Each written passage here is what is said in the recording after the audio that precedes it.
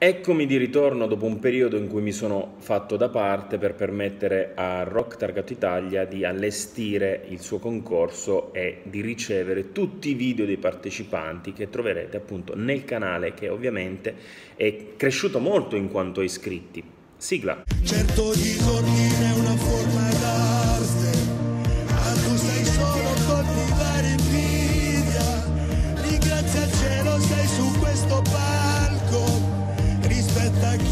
ha portato dentro, ma questo sono io. Vi ricordo che questa rubrica nasce per compilare una playlist che si chiama Canzoni emergenti italiane dal 2020, presente su questo canale e su Spotify con lo stesso nome. L'ultima mm, puntata di questa mia rubrichina aveva visto l'approfondimenti su Margherita Vicario e quindi avevo raccontato un po' la storia. E proprio da qui ripartiamo perché il primo pezzo eh, dopo la pausa è proprio di Margherita Vicario e si chiama Come va? Dunque, dopo Giubottino, che è il primo brano che ho messo nella playlist di Margherita Vicario, e dopo Pincio, c'è questo come va, che assomiglia di più a Pincio che a Giubottino, ma questo consentirà al sottoscritto, per una regola che eh, mi sono auto inflitto, di provare, di tentare l'intervista a Margherita Vicario. Speriamo di riuscirci. Comunque, stiamo sul pezzo, nel senso proprio del pezzo, del brano. Come va?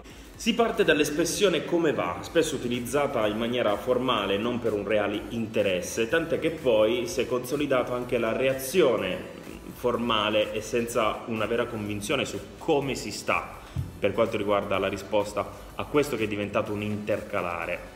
Ovviamente le relazioni tra le persone non è che devono andare per forza tutte in profondità, possono assestarsi su un certo livello di formalità, appunto, eh, tipo le relazioni al lavoro quanto però potrebbe essere importante eh, dichiarare tutti i rospi che si stanno ingoiando per migliorare questo tipo di relazione e anche per migliorare la propria vita interna a se stessi. Cosa sto dicendo?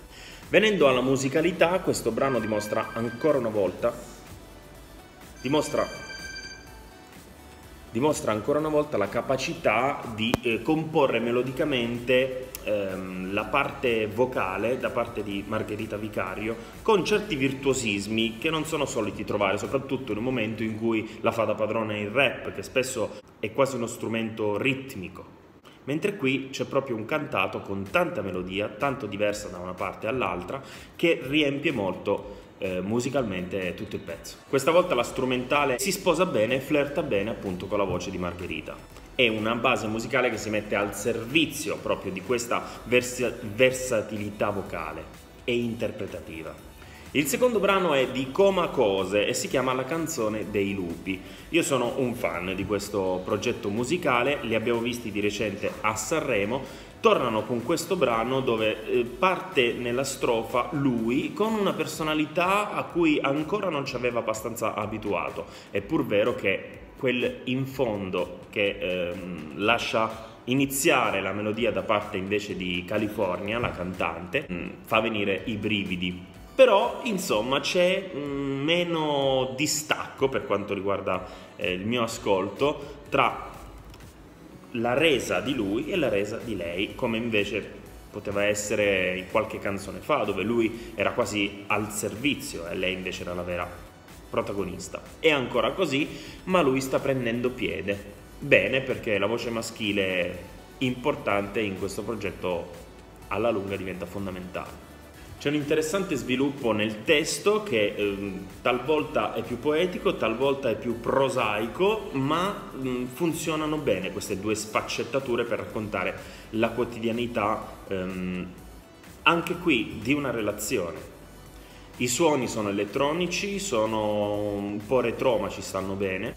La canzone tratta di una vicinanza che si ha tra loro, che si sentono in un micro universo, e i lupi che sono indomabili, che vanno in branco anche loro in un micro universo, di solito distaccati dagli altri animali e dagli esseri umani.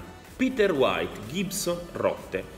Questa è una storia interessante. La prima volta che ho sentito il brano all'inizio, questo modo di cantare cadenzato che va molto nei trapper, mi hanno fatto il cazziatone, mi hanno detto che non si dice trapper, che lo si dice solo in Italia, però famosa a capire, no? Quelli che fanno la trap. quindi questo stile un po' così moscio, eccetera, eccetera, alla lunga mi fa ridere, mi sembra un po' che si copino l'uno con l'altro. E quindi ero pronto per farmi una grande risata e mettere questo brano nella rubrica controventi, dove ci sono i brani appunto che mi fanno ridere per un motivo eh, eh, o per l'altro, non necessariamente volontariamente. Invece arrivando il ritornello e continuando nell'ascolto, ho scoperto una potenziale hit estiva, di quelle però da, da, gruppo di amici che scopre un brano, non di quelle sparate a cannone dalle radio piene di product placement. Quest'anno l'ha fatta, l'ha fatta sporchissima, mi meraviglio di Lauro. Ad ogni modo, il ritornello diventa un mantra che si ripete tre o quattro volte all'interno del brano, crescendo proprio di, di potenza e veramente attaccandosi alle orecchie dell'ascoltatore che inizia quasi a canticchiarlo prima che la canzone sia finita. Purtroppo questo capita anche con la hit ufficiale estiva che eh, mi potrei colpire a pugni e non uscirebbe dalla mia testa. Quindi la cosa importante è riempirsi la testa di altra musica autoselezionata e chiudere tutte le finestre per non sentire gli stabilimenti balneari sparare eh, la Coca-Cola, eccetera, eccetera, H24 o BBK o Elettra, le, le robe là. Io spero invece che Gibson Rotte eh, venga rivalutata in un futuro prossimo, anche grazie a TikTok magari, che ti posso dire? Books! Cosa te ne pare dei Maneskin? Decenti. Chiudo.